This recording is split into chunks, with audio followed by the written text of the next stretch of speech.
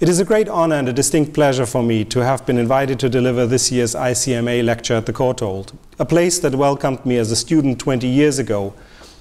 and of which I have many fond memories. It is, it is wonderful to be back here after so many years on this occasion, and I would like to express my deep gratitude and appreciation to my former teachers, John Lowden, Joanna Cannon, and Paul Crossley. If they had not taken me on as a young German postgraduate student, hopelessly unfamiliar with London, the English language, and the British educational system, and treated me with much patience and kindness, the world of art history would not have opened up to me in the way it did. And I am certain that I would not stand in front of you today without their help and guidance. While I cannot comfortably claim to be an Italianist, I chose today's topic mainly for two reasons. Firstly, because a research and conservation project on the Accademia's famous Stauroteca del Cardinal Bessarione gave me a rare opportunity to investigate the long-term impact of Byzantine relic imports on the lagoon city, and secondly, because it allowed me to pay my humble respects and homage to a colleague who always encouraged me to look closely at things Venetian, and who left us much too early last summer namely my colleague David Rosand. Separated from each other by almost a thousand nautical miles, yet inextricably linked to one another by a long history of political, commercial, and cultural interactions, the Byzantine capital Constantinople and Venice were arguably the most prosperous and culturally refined cities in the medieval Mediterranean.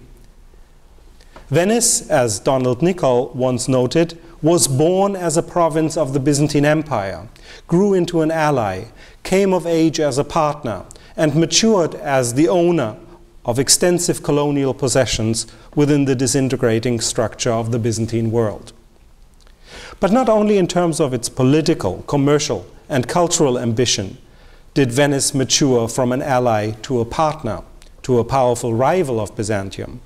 Also, as a collector and guardian of sacred objects, did Venice compete with and eventually supersede the Byzantine Empire and its capital. By the early 14th century, Constantinople lay largely despoiled of its once famous ecclesiastical treasures. Many of them were now scattered across Western Europe, having found new homes in the most prestigious churches and monasteries of France and Germany, who had received them as pious gifts from crusading knights, traveling bishops, or entrepreneurial clerics who had crossed the seas and visited Constantinople on their way to Cyprus and the Levant during the course of the 13th century. No single church or city in Northern Europe, however, could rival either Paris or Venice in terms of the quantity and quality of their holdings in Byzantine sacred objects. In Venice, the earliest surviving inventories of the treasury of San Marco, composed in 1283 and 1325 respectively, present us with a vivid picture of the influx of wealth, both material and spiritual, that resulted from the conquest of Constantinople in 1204, and more than five decades of privileged access to Byzantium's most sacred sites and valued treasures. While Venetian efforts to acquire new relics slowed down considerably after the end of the Latin domination of Constantinople in 1261, prominent Eastern relics continued to enter the Rialto even during the 14th and 15th centuries, enriching the city's foremost churches, religious confraternities, and public institutions with unprecedented spiritual and miracle working power. In my talk today, I will focus on two such relics, both of them relics of the True Cross. One of them was donated to the confraternity or scuola of San Giovanni Evangelista in 1369. The other one to the scuola of Santa Maria della Carità, almost exactly a hundred years later, namely in 1472.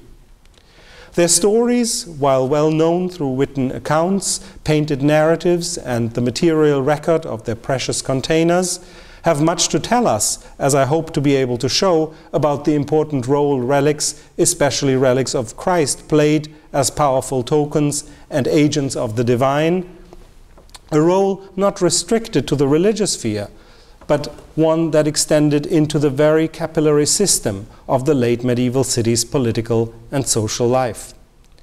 Before focusing on these two objects and the late medieval city in which they arrived, it will be useful, I think, to take a closer look at the early history of relics on the Rialto, especially as far as Eastern imports and relics of Christ's Passion are concerned. This will help us to illuminate the broader historical context for the presence and veneration of Eastern relics in 14th and 15th century Venice, and provide an important interpretive dimension for our assessment of the specific conditions that allowed these relics to wield their miraculous powers. From late antiquity through the Middle Ages and beyond, relics of Christ's Passion were collected and treasured by individuals and Christian communities in both the Byzantine Empire and the Western world.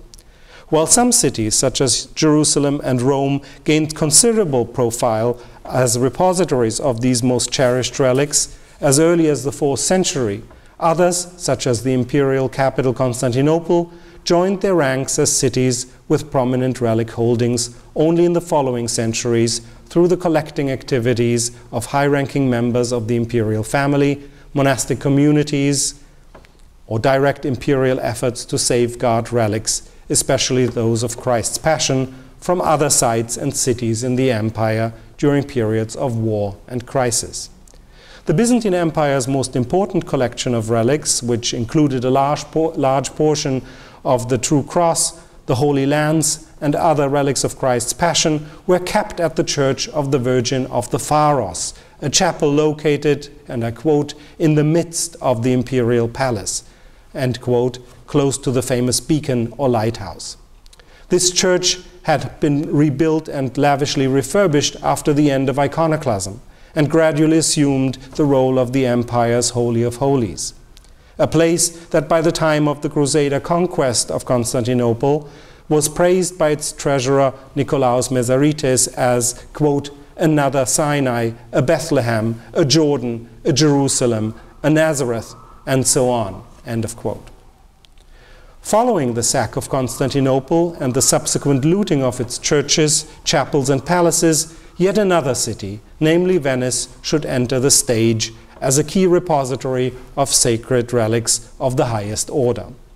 Yet the city's subsequent fame as a second Constantinople and New Jerusalem was not merely an accidental result of the conquest of the imperial capital. It was the logical consequence of a series of earlier attempts to endow the city with powerful saintly protectors.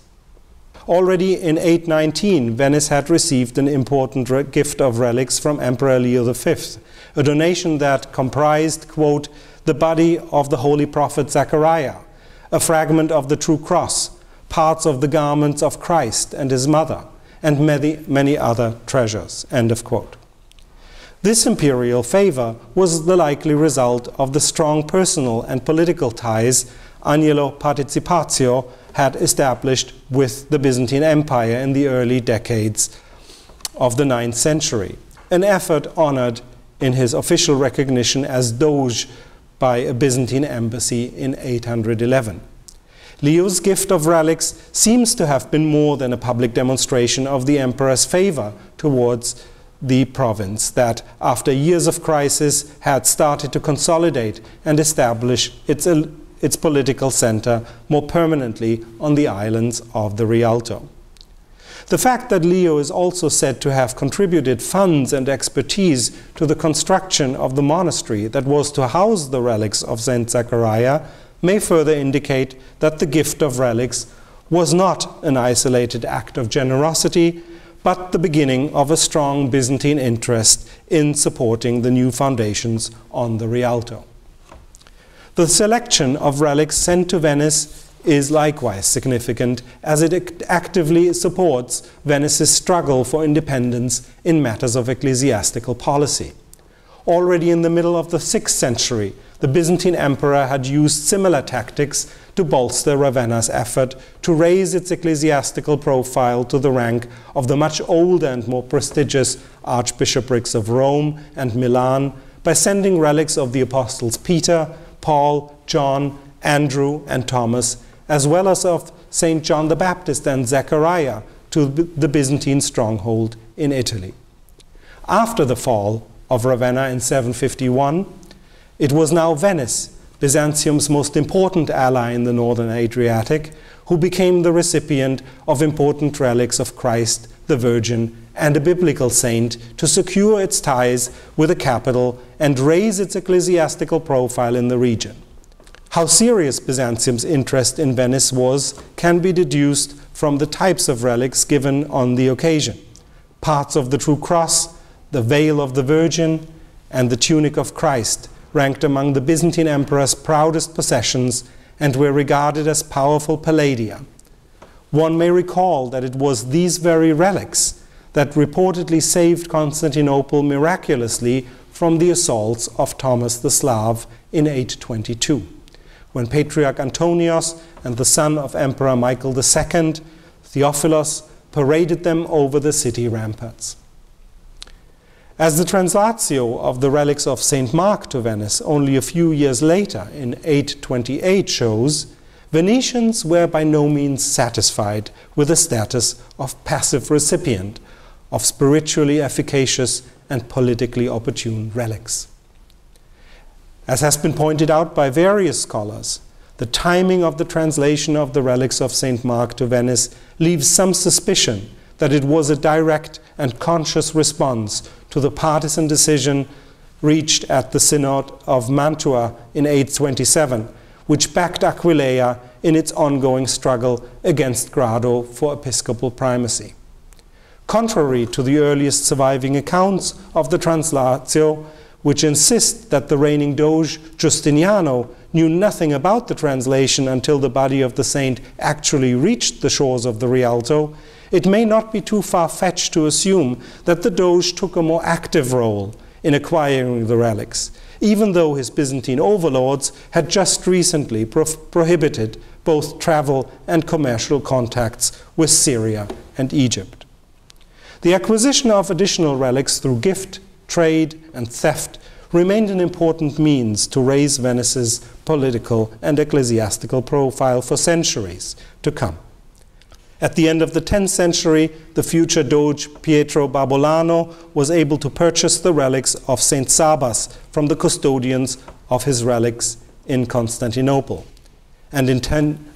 1004, Emperor Basil II sent relics of St. Barbara as a wedding present to Giovanni Orseolo, son of Doge Pietro II, and his Byzantine bride Maria Argyropolaina. Other saintly remains arrived in Venice merely two decades later. As recorded in Andrea Dandolo's chronicle, the relics of the saintly bishop Tarasius were allegedly discovered by Venetian merchant in a ruined monastery near the promontory named Kilendro, likely the Tarasios monastery north of Hestiae Anaplos on the Bosphorus. According to Dandolo's report, the merchants carried the saint's body on board their ships and brought it to the lagoon, where they were received by the bishop, clerics, and people of Venice with incomparable devotion, and placed for veneration in the church of San Zaccaria. More important than the remains of the saintly bishop Tarasius, yet no less controversial, were the relics of another famous bishop, namely St. Nicholas, who arrived in Venice around 1100 together with his homonymous uncle and the martyr Theodore. According to the Translatio Sancti Nicolai and other sources, they were brought to the Rialto from Myra by Enrico Contarini, the Bishop of Castello. Since the Venetian account of the miraculous finding of the relics was backed by two of the most prominent members of society, Bishop Enrico Contarini and Giovanni Michiel, the son of the Doge and leader of the Venetian mission to Myra,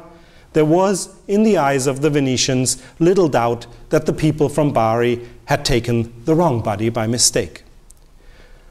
Whereas in the case of St. Nicholas, the Venetians had been willing to compensate the bewildered bishop of Myra for his loss with gold, no similar attempts at restitution were made in the case of the relics of St. Stephen, who was stolen in broad daylight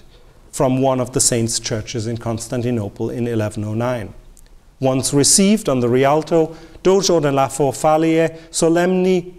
deposited the saint's relics in the northern transept of San Giorgio Maggiore and thus gave the theft retroactive blessing. Although the scandalous behavior of the Venetians in Constantinople was noticed by the Byzantine emperor and resulted in the temporary suspension of all Venetian trade privileges,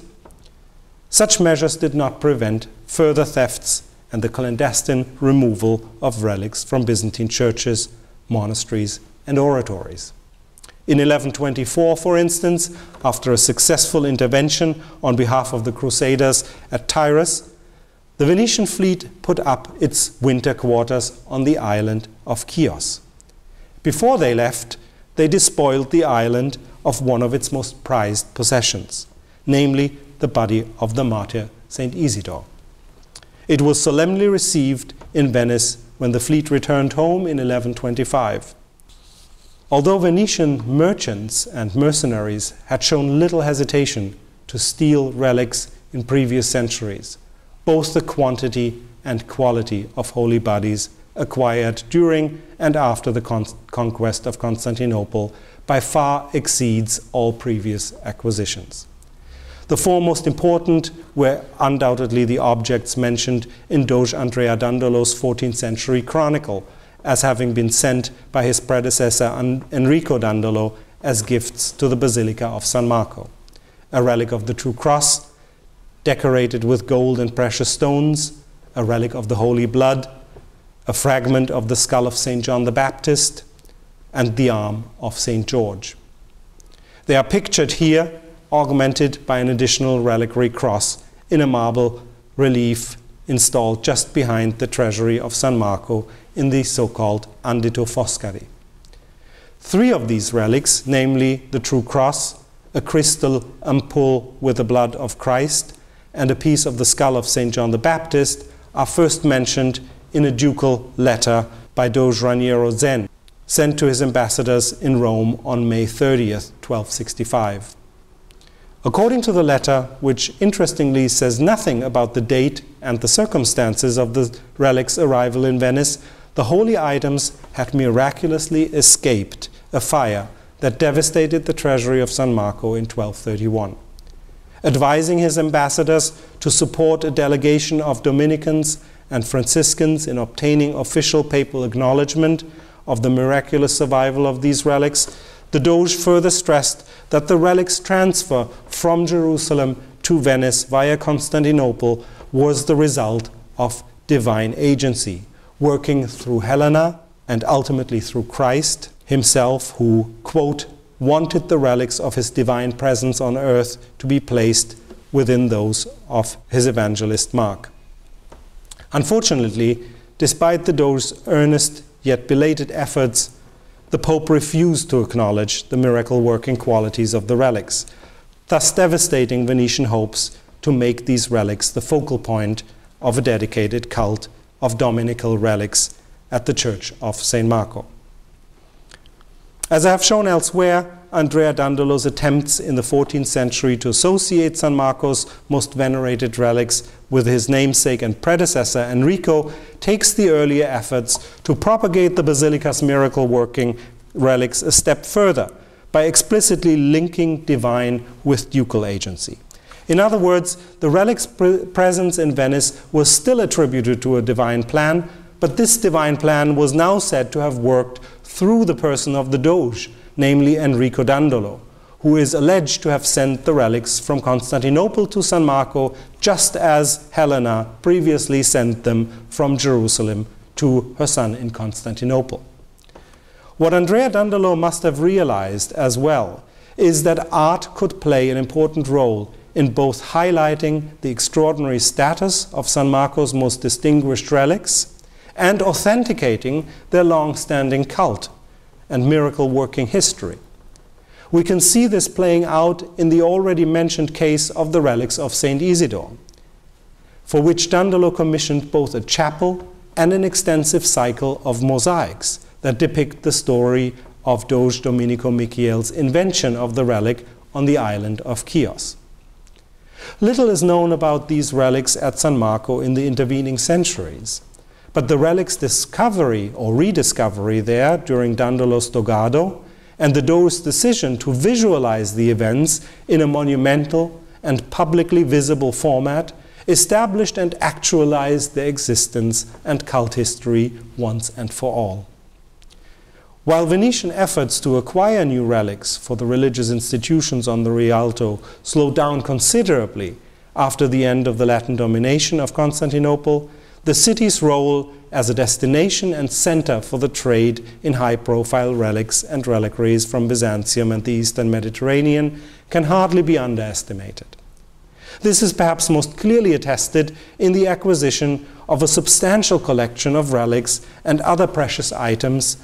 by the hospital of Santa Maria della Scala in Siena in 1359. The deal was sealed, as it were, in Venice on May 28, 1359, by Andrea Grazia, a syndic of the Ospedale, and Pietro Torrigiani, a Florentine born merchant, Venetian citizen, and resident of Constantinople, when a contract was drawn up that stipulated the conditions of the transfer of objects recently acquired in Constantinople. Information concerning the provenance of the relic collection is provided by a document that apparently accompanied the contract of 1359 as an authentication. Issued at Pera on December 15, 1357, by the papal legate to Constantinople, the Carmelite Peter Thomas, and witnessed by three bishops as well as the Dominican inquisitor Philip de Contis, the document recounts that Peter Thomas having heard about Pietro Torrigiani's relic collection, had visited the residence of the Venetian bailo of Constantinople, likely Maffeo Venier, in the company of the co-signing bishops to examine, quote, with eyes and hands the precious relics, among which were to be found even those of Christ and the true cross on which he had hung, end of quote. The document further states that in order to assure the authenticity and provenance of these relics, Thomas had sent two of the bishops and the inquisitor to Empress Irene, wife of Emperor John VI Cantacuzenos, who in turn testified that the relics had indeed come from the imperial palace, that they had been put up for sale in the loggia of the Venetians out of necessity, and that there were, quote, no relics more precious in the whole empire than these. End of quote. After presenting a list of the relics examined, Thomas finally asserts, and I quote again, that it seems as if the Lord Jesus Christ himself had led Torrigiani to Constantinople in order to take the relics out of the hands of the schismatics and bring them to a holy place, just like the children of Israel were led out of Egypt by divine mandate. End of quote. The document concludes with a plea that Torrigiani may, and I quote again, bring the relics to our Lord the Pope and the most serene Prince and Lord Emperor of the Romans, since such priceless objects suit them best. End of quote. The original purpose of this document is somewhat difficult to determine, but it may nonetheless serve as a clear indicator of how radically the Latin conquest of, and occupation of Constantinople had reshaped the traditional role of, of the Byzantine Empire, emperor as a guardian and distributor of dominical relics. Rather than bestowing such items as an act of imperial favor and high, to high-ranking foreign dignitaries, the imperial household was now forced to sell them out of hard economic necessity. As I have shown some time ago, the consequences of this development for the recipients of such sacred commodities are complex. It not only created the need for institutional authentication, in, case, in this case by the Byzantine empress and papal legate, it also resulted in efforts to disguise the commercial nature of these transactions. Instead of a purchase, the Venetian contract of 1359 repeatedly speaks of a donatio, a donation, despite the fact that the merchant was to receive a purely monetary compensation of 3,000 gold florins to be paid in six monthly installments and the provision of a lifetime residence in Siena. But let me return to those relics that actually stayed in Venice during the 14th century and began to enrich the city with their spiritual and miracle working power. Among them was first and foremost a fragment of the true cross. donated to the Confraternity of San Giovanni Evangelista on December 23, 1369, by Philippe de Mézières, then Grand Chancellor of Cyprus, who had come to Venice first in 1362 with Peter of Lusignan and repeatedly thereafter to drum up financial and military support for a new crusade. Curiously enough, the origin of de Mézières' relic is linked to the same Peter Thomas we encountered as the authenticator of Pietro Torrigiani's Byzantine relic hoard, and who had in 1363 and 1364 respectively advanced to the rank of Archbishop of Crete and Latin Patriarch of Constantinople. As we know through both Philippe de Mézières' will, registered in Venice in January 1370, and the privilege of donation, a document dated a month later, the relic of the True Cross had been given to Philippe by his beloved friend and mentor Peter on his deathbed in Famagosta in 1366. The act of donation further explains that Peter had in turn received the relic from elders of a Syrian Christian community while on the road to the Holy Land in 1360. Interestingly, Philippe de Mézières does not mention this episode with a word in his life of Peter Thomas, even though it would have greatly enhanced Peter's reputation as a charismatic leader, as Kirill Petkov recently stressed. While doubts about the veracity of the story are thus in order, in the context of its donation to the Confraternity of San Giovanni, it serves an important purpose. It links the relic to a person of proven ecclesiastical authority, who had both means and opportunity to acquire such a treasure in legitimate ways directly from a source, however reputable, in the Holy Land. Authentication of the relic in 1369 was ensured, as attested by the privilege of donation, through the presence of a number of witnesses, including the Franciscan Ludovico Dona, who served as the order spiritual and principal lecturer at the University of Pisa, and more importantly, in this context, as inquisitor for Venice and Treviso. Since both the relic and its rock crystal reliquary cross have survived and are preserved at their former home in the scuola of San Giovanni Evangelista, it is worth examining it here in greater detail. The cross of San Giovanni Evangelista belongs to a group of richly decorated Venetian processional crosses of a type often called Tatzenkreuz in German speaking scholarship due to its char characteristic paw like terminal ends. The body of the cross consists of five separate panels of rock crystal, three of which have been replaced by glass in subsequent periods. The roughly square shaped panel at the center and the lower of the two paw-shaped vertical cross arms are preserved in their original condition. Each crystal panel is framed by a silver-gilt decorative border, consisting of a somewhat drawn-out egg and dart frieze and a band of palmettes that grow towards the center of each crystal panel. From each of the terminal ends sprout silver-gilt tendrils carrying an alternating sequence of cone-shaped, blossoms, and busts of prophets. Of the originally ten prophet busts, seven have been preserved in their original form, while three have been replaced. Two strong branches growing out of the cross's hexagonal microarchitectural node flank the lower cross arm on both sides and carry the silver gilt figure of the Virgin on one side and St. John on the other. As such, the cross of San Giovanni Evangelista reflects a cross type first witnessed in the 13th century treasury relief and associated with one of San Marco's Byzantine relics of the True Cross.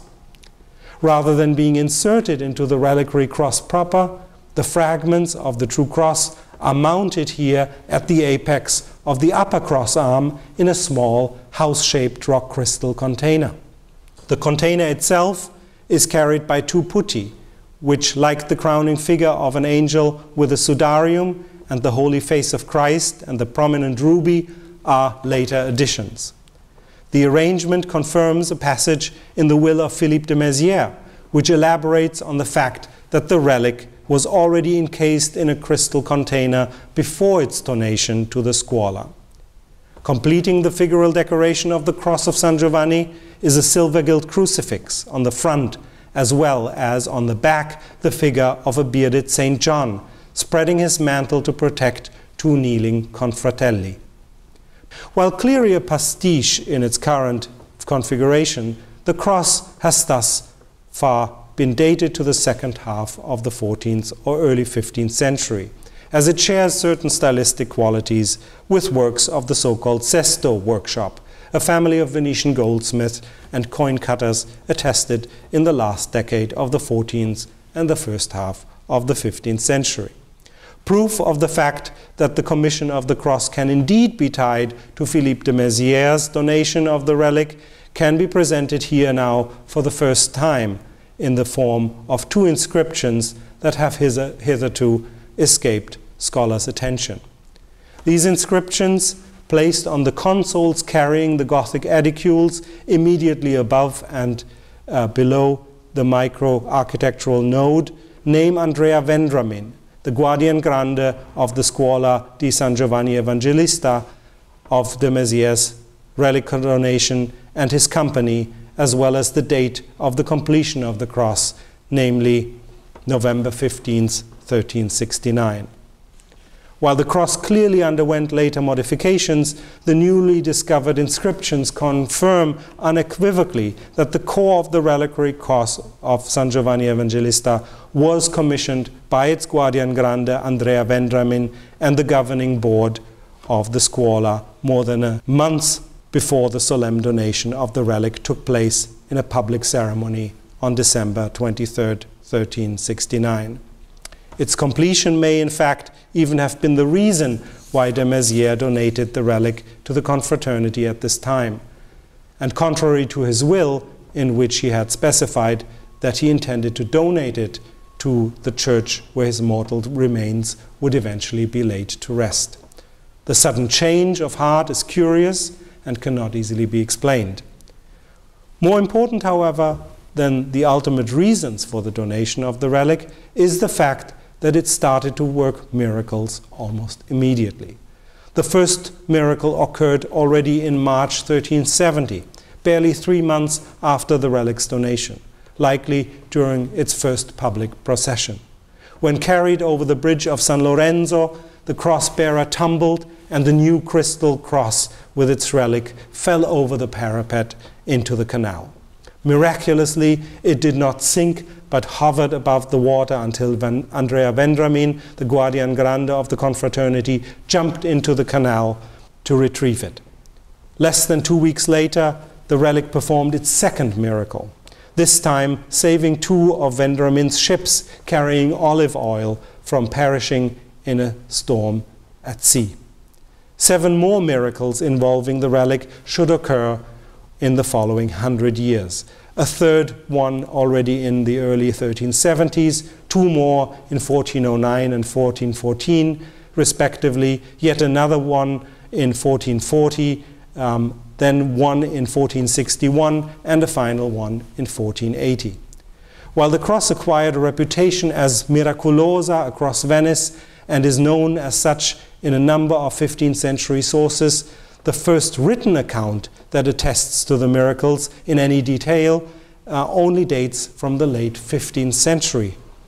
It is an incunable published around 1490 that recounts the relic's origin, the circumstances of its donation to the scuola of San Giovanni Evangelista, and the miracles it worked to date. The second source is a monumental cycle of paintings we have already seen Bellini's miracle on the Bridge of San Lorenzo, commissioned by the confraternity from the most prominent painters in the city, namely Gentile Bellini, Lazzaro Bastiani, Giovanni Mansueti, Benedetto Rusconi, and Vittore Carpaccio, to decorate their Sala dell'Albergo around the same time. The fact that the incunable and the painting cycle were commissioned just around the same time at the end of the 15th century is no coincidence but rather the result of the arrival of yet another precious relic of the True Cross in Venice only a few years prior in 1472. Once again, the relic was a donation by a high ranking official to one of Venice's foremost confraternities. But unlike Philippe de Mézières, he was a high ranking cleric and one with a Byzantine pedigree to boot. The relic and its containers were a donation of one of the city's oldest and most distinguished religious confraternities, namely the Scuola of Santa Maria della Carità, and its donor was none else but the Greek cardinal and humanist Vasilius Bessarion. Perhaps best known for his participation in the Ecumenical Council of Ferrara and Florence, at which he emerged as a key figure in the negotiations for a union of the churches, Bessarion was made a cardinal of the Roman Church in 1439 and settled in Rome, where his palazzo became an important meeting place for Italian humanists and Greeks who fled Constantinople following the Ottoman conquest in 1453. The circumstances that led to this donation are well known through a number of documents, most of which survive in near contemporary or later copies. In July 1463, ten years after the conquest of Constantinople, Pope Pius II sent Bessarion to Venice in an attempt to rekindle and promote the idea of a crusade against the Ottoman Turks. It was not the first time Bessarion visited Venice. Already in 1438, Bessarion had visited Venice in the company of Emperor John VIII and Patriarch Joseph II on his way to the Council of Florence and Ferrara a visit famously recorded by Sylvester Syropoulos. A second visit followed in 1461 on the way back from a papal diplomatic mission to Germany. On this occasion, he was invited to sign the Golden Book of the city and also to join the city's Great Council as an honorary member. When he returned in 1463, Bessarion was received with even greater honors. As was befitting for a Roman cardinal traveling as a papal legate, the Doge and Senate went out to meet him in the lagoon on the Bucintoro, the Doge's great ceremonial barge, with chants, acclamations, and church bells resounding from all parts of the city. It was not the last honor bestowed on Bessarion in Venice, for a few weeks after his arrival in Venice, Marco da Costa, the Guardian Grande of the Scuola della Carità, and a delegation of its most prominent members went to visit the cardinal on the island of San Giorgio Maggiore and solemnly invited him to join their confraternity as a member. Bessarion accepted the honor and accompanied the delegation back to the Rialto in festive procession. Once there, Bessarion vowed in gratitude to bestow a special gift on the confraternity, namely, and I quote, a wooden panel with a cruciform recess in its center, and placed in the recess a golden cross of the finest workmanship. And to its sides, inside the panel, of course, are placed above two pieces of the true cross and two fragments of the tunic of Christ, namely of the Sakkos. And this same panel has on top another painted panel serving as a lid, which is similarly decorated with gilded silver. End of quote. As the attested act of donation further states, the panel had previously belonged to Gregorio Mammas, the Patriarch of Constantinople, who had fled Constantinople for Rome after the Ottoman conquest. On his deathbed in 1459, he had bequeathed the reliquary to Bessarion, who in turn promised it to the Scuola della Carità with the sole provision that he would like to hold on to it during his lifetime. Two letters one written by the cardinal on May 12, 1472, and the other by the confraternity acknowledging receipt of the gift, highlight the further history of the object. In the spring of 1472, the ailing Bessarion had been sent to France on yet another papal mission, when he suddenly decided in Bologna that it was time to hand over the promised gift, which had meanwhile, and I quote, further been adorned with silver and fitted with a pole so that it could suitably be displayed in the context of pious devotion. Three trusted men from the cardinal's familia were sent as couriers to hand over the precious panel, which, according to the confraternity's reply, arrived in Venice in early June. At the request of the Senate, the reliquary was first displayed on the high altar of San Marco on Trinity Sunday. and then carried in solemn procession through the city and across the Grand Canal into the Scuola della Carità, accompanied by the entire populace chanting hymns. No visual record of this solemn procession survives. However, one of the paintings commissioned to record the miracles performed by the True Cross of the Scuola of San Giovanni Evangelista, following its donation in 1369, does exactly that, at the time when Bessarion's gift of a large Byzantine reliquary was still fresh in the memory of the Venetian populace. Gentile Bellini's 1496 depiction of the miraculous intervention that occurred in April 25, 1444, during a procession in St. Mark's Square on the occasion of the patron saint's feast day, visualizes a similar procession, yet foregrounding the relic of San Giovanni Evangelista within it. As Patricia Fortini Brown has argued, what we are witnessing here is a forceful competition between two of Venice's most prominent scuole for the primacy of their relic of the true cross. And I would add that it is fought out by means of a full fledged media war involving both painted and printed matter. While the Scuola of the Carità commissioned a tabernacle for its albergo to keep alive the memory of its pious donor and those in the confraternity who received the gift in 1472, the Scuola of San Giovanni Evangelista soon thereafter commissioned a written record of all miracles so far performed by its relic.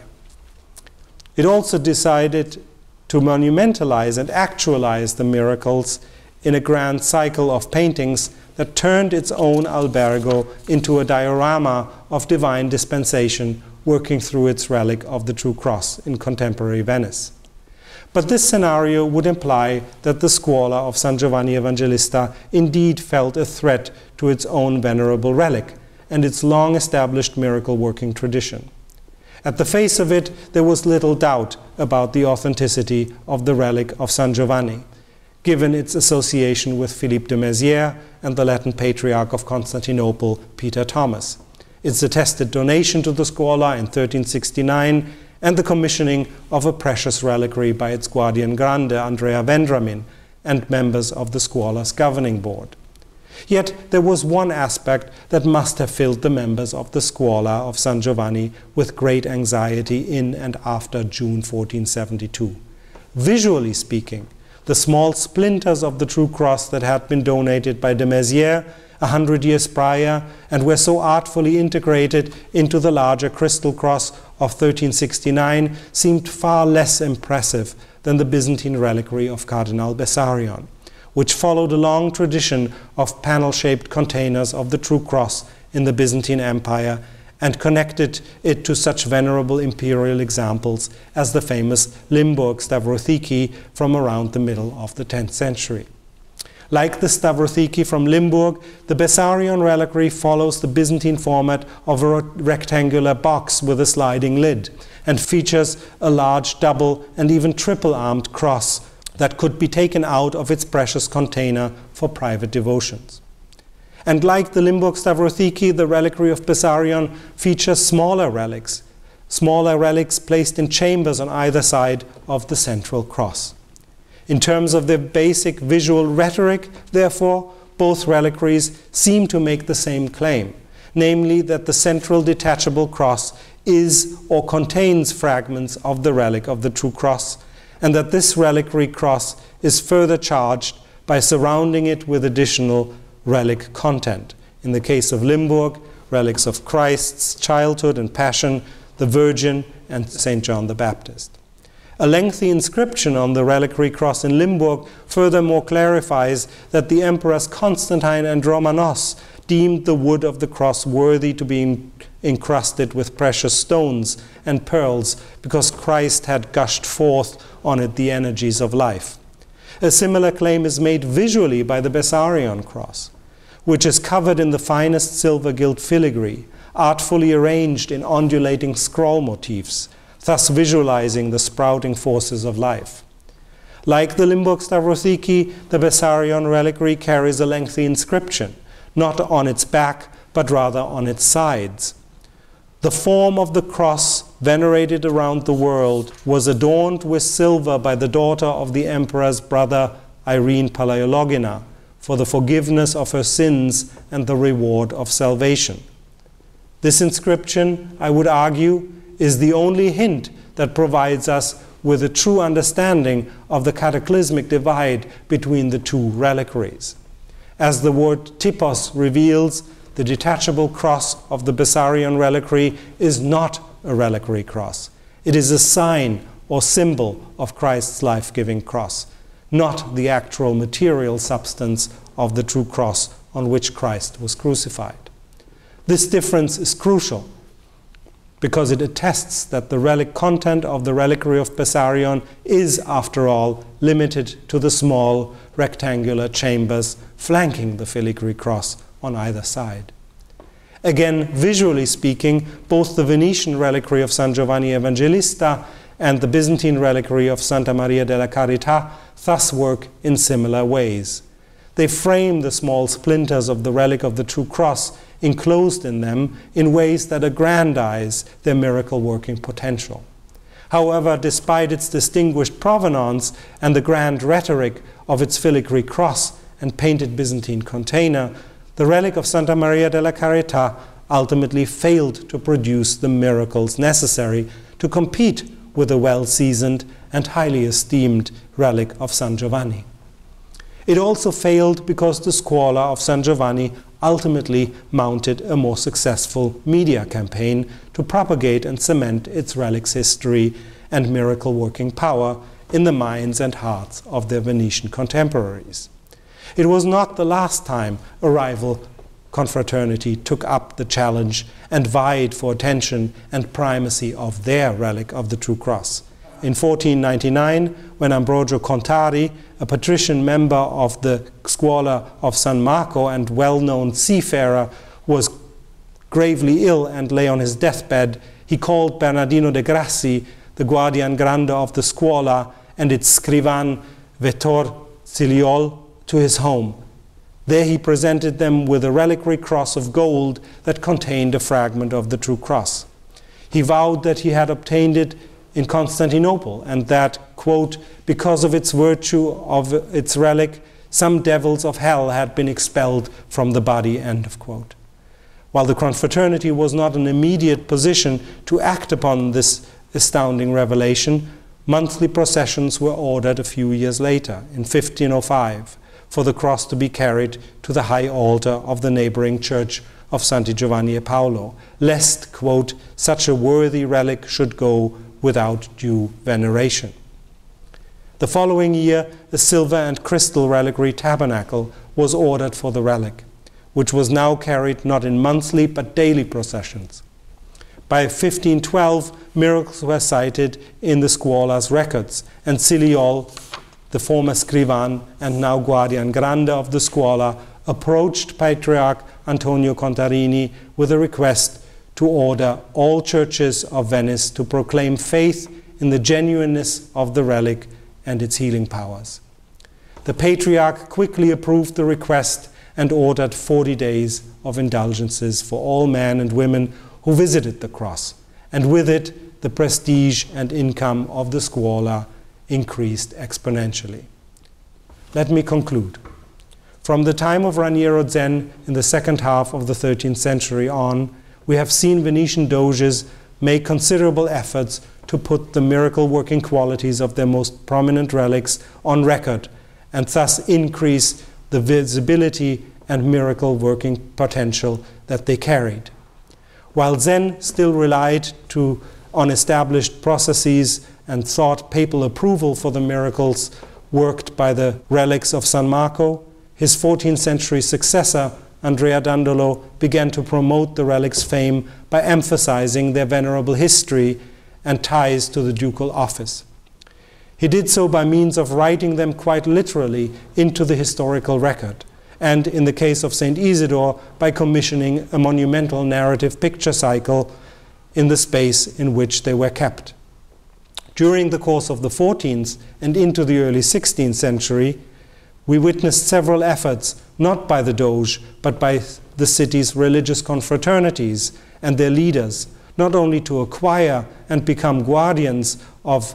new treasures, but also to serve as impresarios of their numinous powers.